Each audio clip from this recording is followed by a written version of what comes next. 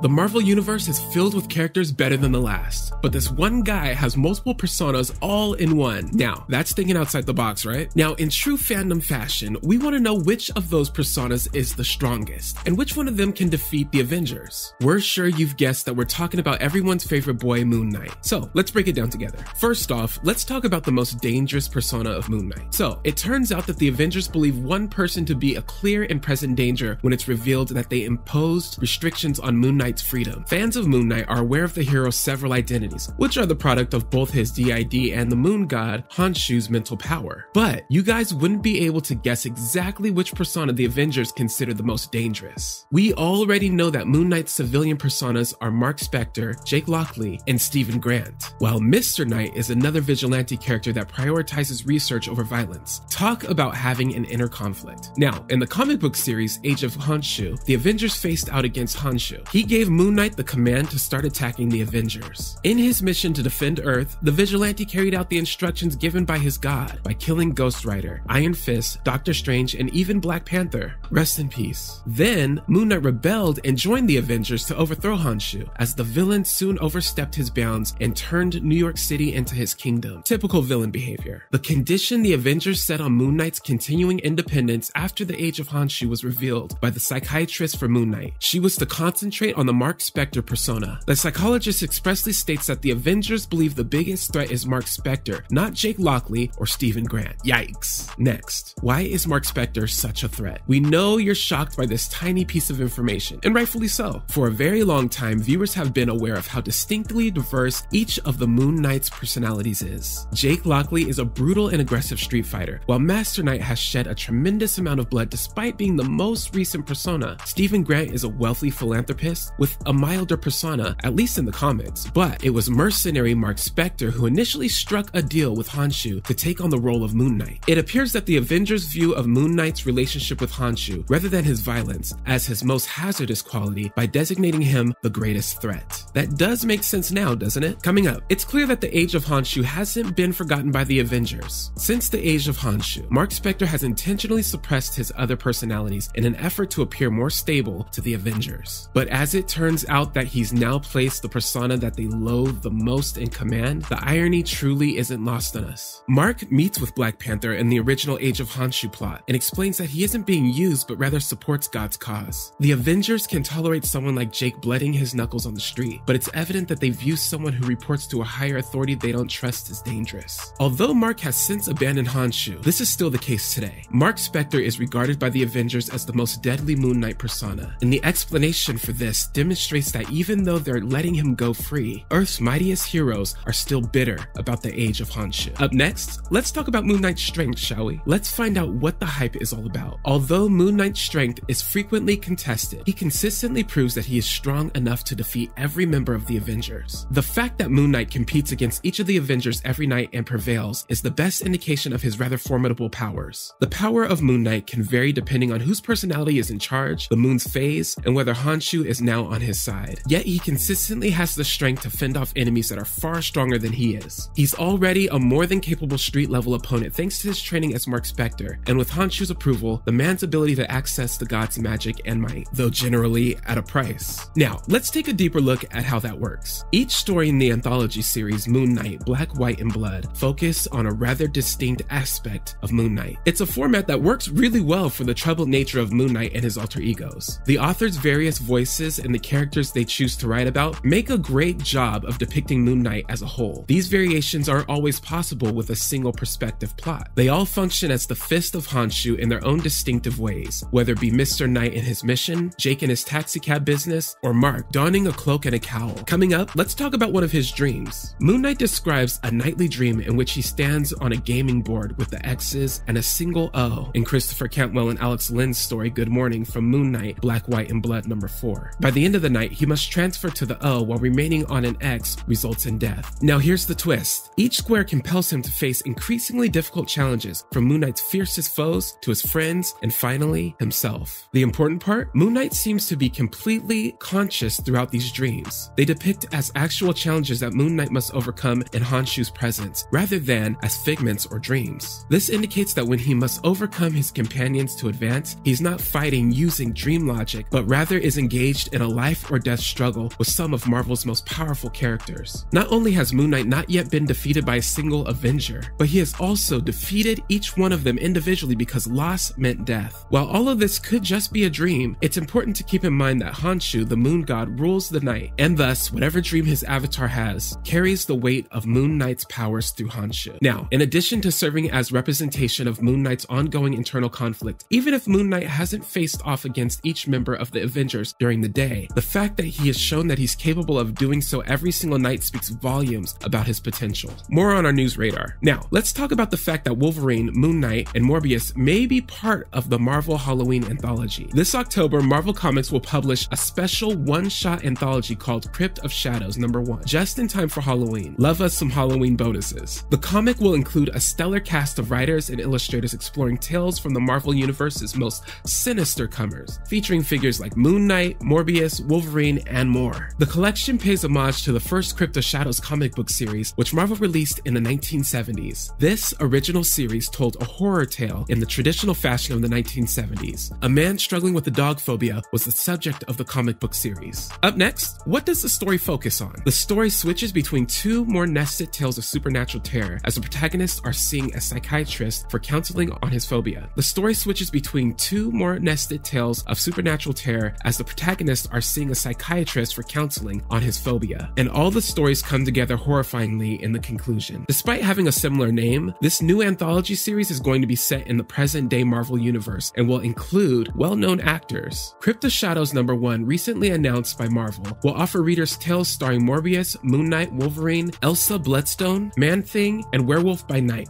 Bloodline, the daughter of Blade, who made her debut in this year's free comic book day, Avengers X Men number 1, will also be featured in a narrative there. These stories promise to be frightening even though they include well known personalities. The comic promises to send chills down readers' spines as Marvel's heroes and anti-heroes battle vampires, werewolves, and a variety of other monsters. We can't wait. Now, we've saved the best news for last, and that's Hugh-Pull. In true Deadpool fashion, Ryan Reynolds broke the news. Deadpool is known for being one of Marvel's most trigger happy, stab happy, punch happy, etc. characters. And now Deadpool 3 starring Ryan Reynolds and Hugh Jackman hits theaters on September 6, 2024. But Reynolds seems to have run out of ideas for the film and he sincerely hopes that Wade Wilson's first appearance in the Marvel Cinematic Universe and this third outing with the Merc with the Mouth will be something exceptional, something that fans will always recall, something to really set Deadpool apart from the competition. Apart from that, Reynolds got nothing, except for one suggestion. Would you like to play Wolverine for one final time, Hugh Jackman? Jackman's carefree response to that was, yeah, sure. We're